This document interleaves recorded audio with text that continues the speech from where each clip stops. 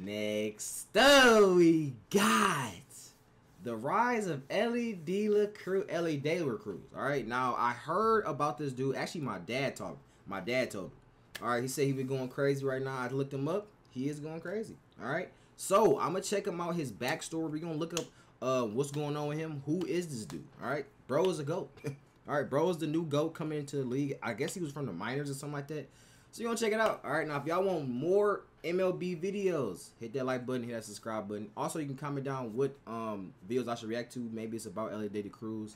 Um, I want to check some highlights out. Even though he just got in the league, it is like a couple highlights. It's like two minutes long or something like that.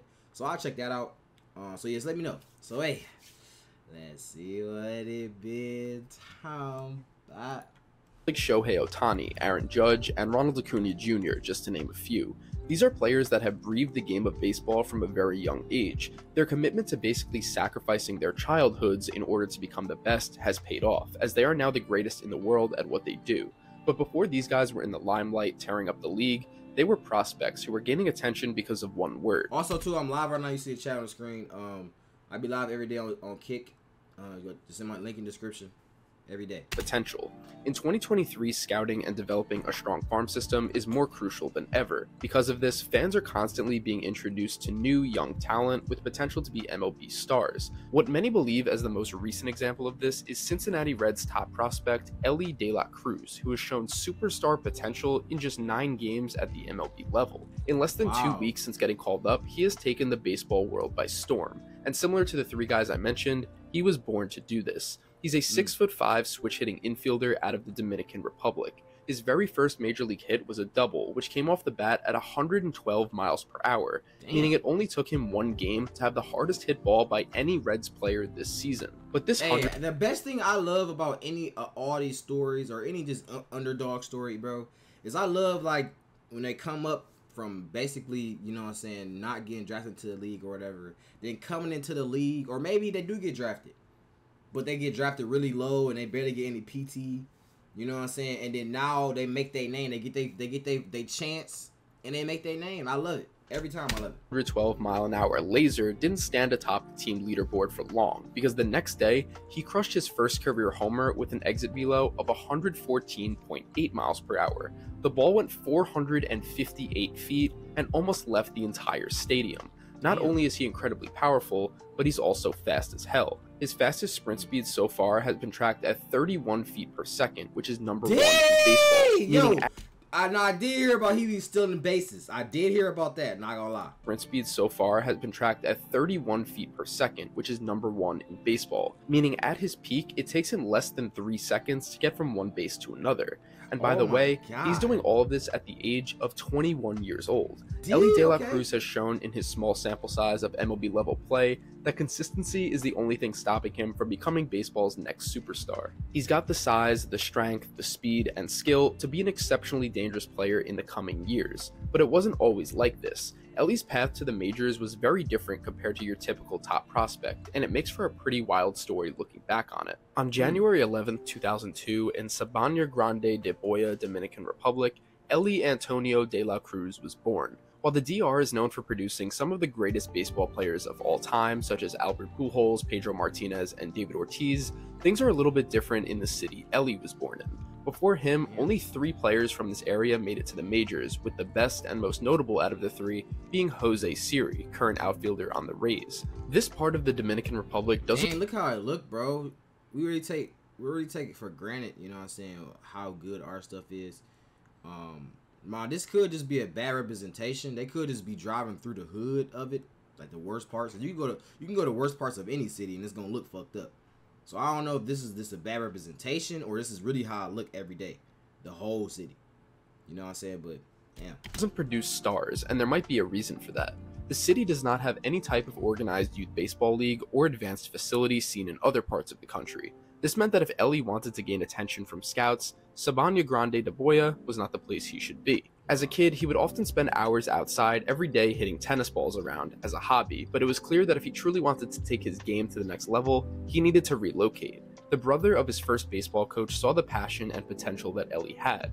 he offered him the chance to move in with him, where he would provide De La Cruz with food and training, training that he desperately needed if he wanted to fulfill his dream. Sounds like a no brainer. The problem was, at this point in time, Elly was only six years old. His coach's brother had long conversations with his mom, trying to convince her to let her child oh, move in with him. Uh... Since Elly's mom knew how much baseball meant to her son, she agreed.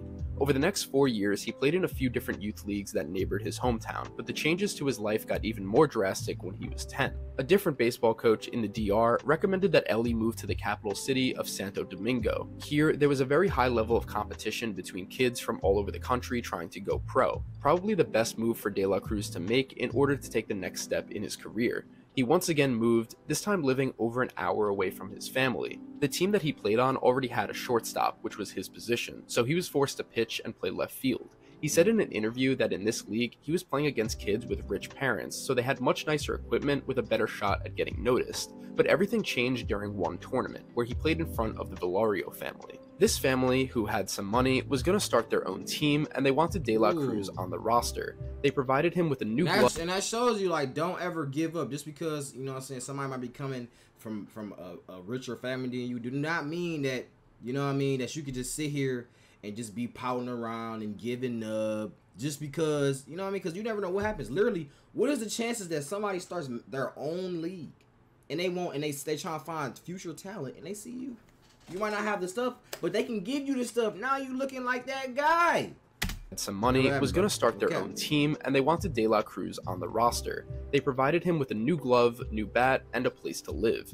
However, as the wow. years went on, Elly was seriously starting to get discouraged. He kept witnessing players around him get signed to MLB teams while he was left in the dust. He said, quote, there was a point where no one was paying attention to me. I wanted to go back home and be with my family. Nobody really noticed me, scouts didn't really like me. In the academy, I wasn't making cuts during tryouts, and that's why I wanted to go back home. Elly was debating whether or not his dream would pan out, and at this point in time, it was looking bleak, as he was on the brink of quitting. But he recalled the Valario family convincing him to stay, saying, Do not leave, you're going to be good. Thankfully, De La Cruz decided to stick it out, and it's a good thing he did, because one day in 2018, with a little bit of luck, everything changed. A Red Scout came into town with the intention of looking at a different shortstop during a workout. Elly was told by coaches in the Dominican Republic to attend this workout because he was worse than the shortstop the scout was looking at and it would make the other guy look better. After several days of showcasing their talent side by side, more and more scouts came to watch, but not because of the other guy, because of Elly. He walked away from this workout that he wasn't even originally supposed to attend with a contract from the Cincinnati Reds for $65,000. Wow. While this was Elly's big break, the road ahead was still going to Literally, the look at the chances, bro. He went to a random, just a normal workout one day. You know what I'm saying? And what happens? And what happens, bro? He got signed for a hundred bands. Wow, bro. All your dreams can come true. All your dreams. Walked away from That's this workout that he wasn't even originally supposed to attend with a contract from the Damn. Cincinnati Reds for $65,000. While this was Elly's big break, the road ahead was still going to be a tough one. In 2019, he put up decent numbers as a 17 year old in the Dominican Summer League, but nothing to really wow the organization. And in case he didn't overcome enough obstacles to get to this point, let's throw in a global pandemic to shake things up. The Reds were forced to release 48 minor league players because of COVID, and just like that, once again, Elly thought his career was over.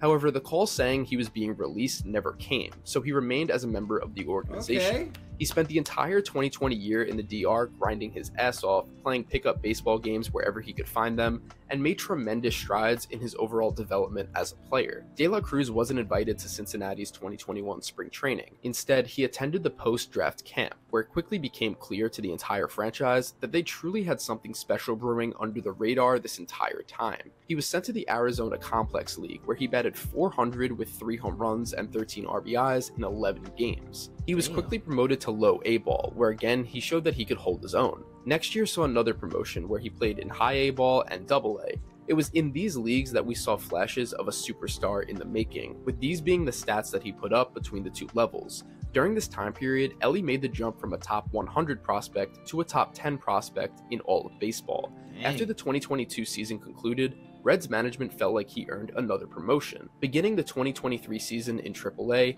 Elly did not miss a beat.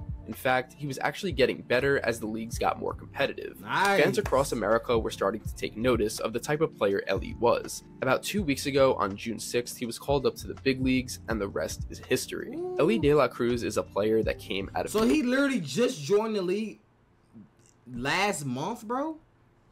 Last month. It's almost. It's literally just. It's just past a month, four days ago. Wow. Nowhere. He was a no name just two years ago, but today Damn. he was one of the most hyped players currently in the league. He Never got to where up, he is by making life changing sacrifices at a very young age. Over a decade after moving away from home, he finally signed a contract after attending a workout he wasn't even supposed to be at. And a global pandemic that looked like it might ruin his career turned out to be one of the best things to ever happen to him.